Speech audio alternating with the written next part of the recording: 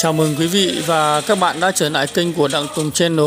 Hôm nay thì bác cháu mình lại tiếp tục làm món à, ốc xào xả ớt. Mời à, quý vị và các bạn cùng theo dõi và thưởng thức cùng với à, gia đình nhà mình nhé. Xả ớt. Ốc xào xả ớt. Chẳng có chảo nào vừa ấy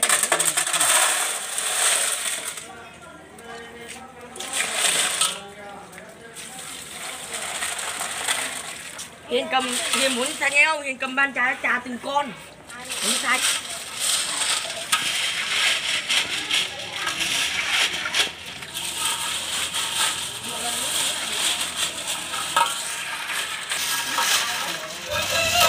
Thì trước tiên ốc mới ờ, bắt về thì bác cháu mình đã ngâm sạch được khoảng tầm ờ, 2 tiếng. Sau đó thì rửa sạch sạch sẽ hết các cái ờ, bẩn của nó và tiến hành cho vào à, luộc qua. Và để cái món à, ốc nó được ngon thì phải cần có xả ớt và chanh. Tiến hành à, cắt để nót vào son rải trên mặt. Rồi. Bập đập giả quá cho nên băng nhỏ con nhỏ đúng không? còn phần củ của nó thì mình sẽ thái nát ờ, mỏng ra để rắc vào ờ, nó mới ngấm thơm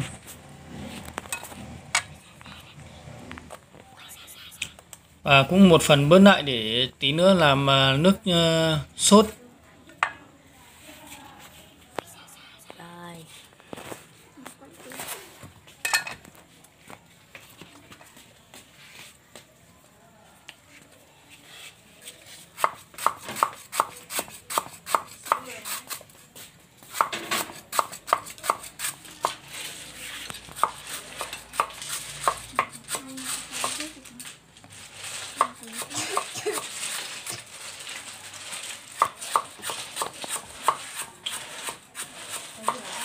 Rồi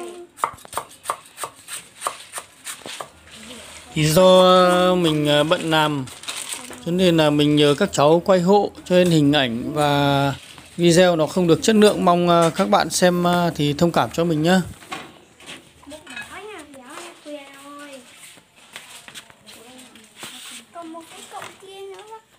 nữa ớt cũng cho thêm nữa hả? Không phải nữa à? Thái Phải Hiền ngại Hiền làm cháy khét đến đẹp. Nồi lên nhà hết đi không Ở đây xin cung thuốc mà.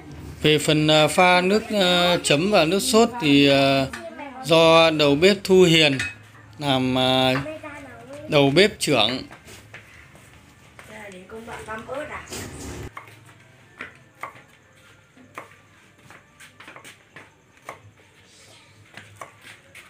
Người ta phải cắt xéo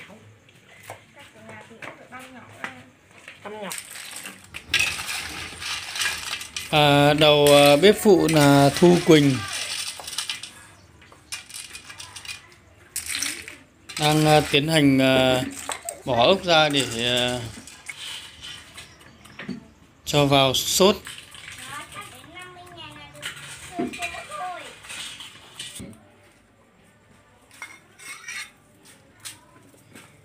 Này đập đây ra này cắt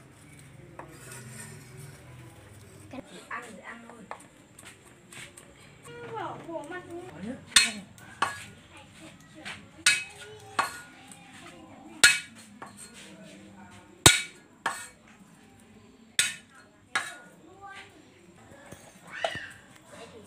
Bi chấp tay qua nhỉ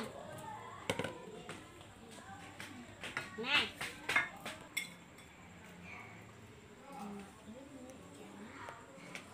Ê ơi ê ơi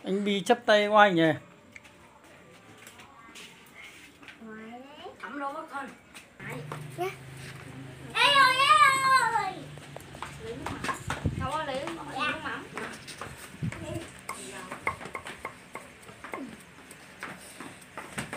Quyền này đầu em rồi cặp đúng không? Cọc rồi chứ ngồi nó mà chưa cặp đúng không Chưa cả. tao rồi gì mới cô bé. Chim sim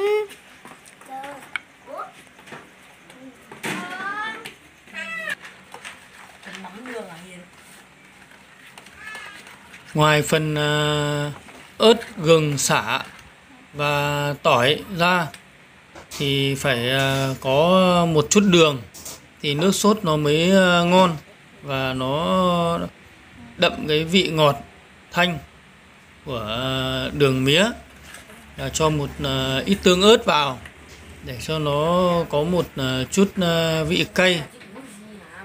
Và một à, trước khi xào thì cho một à, ít dầu ăn xả tỏi vào phi lên.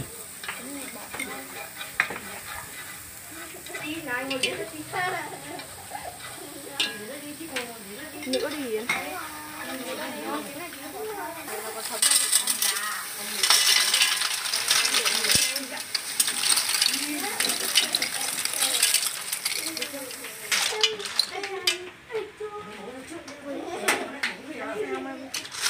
đợi xíu.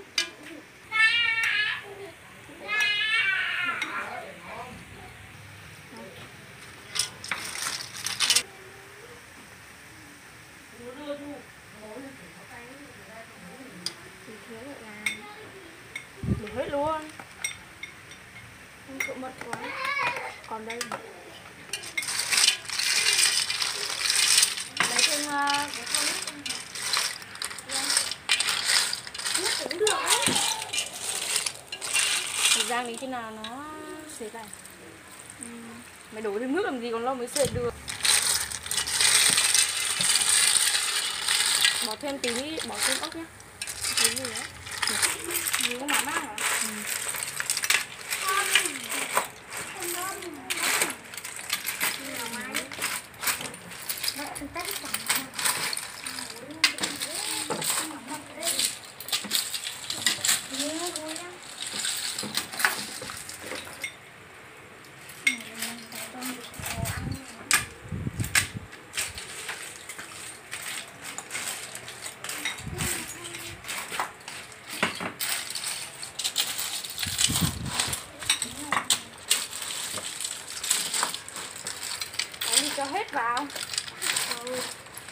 Thu ơi bác ngửi bác đã thấy thơm rồi ấy.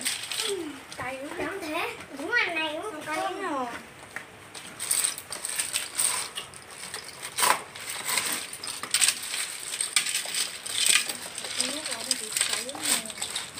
Không chảy đâu Còn đầy nước ốc này nó ra nước mà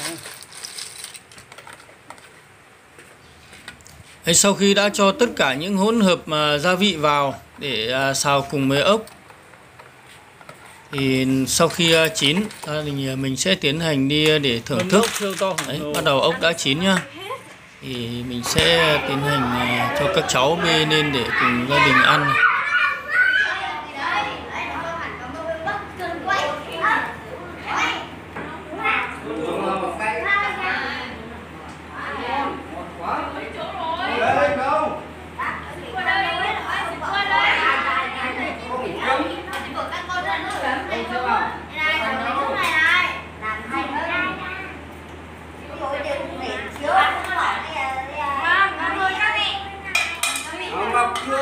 cô này vào quá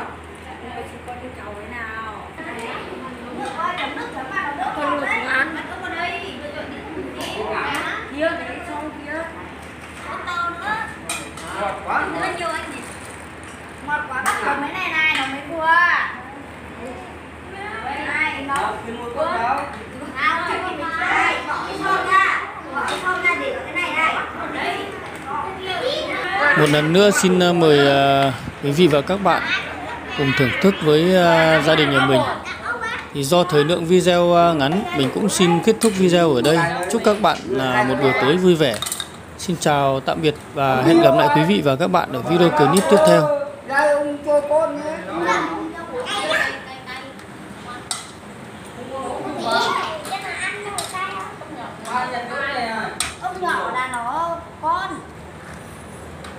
Để biết nó này. Anh hết.